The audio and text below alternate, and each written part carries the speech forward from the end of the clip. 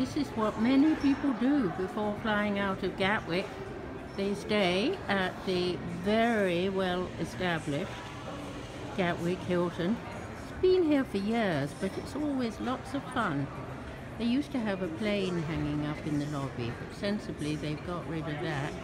And now it's just become a meeting place, which also cleverly has a coffee corner in it, which is incredibly popular. And you go through that, and then you get straight to the terminal.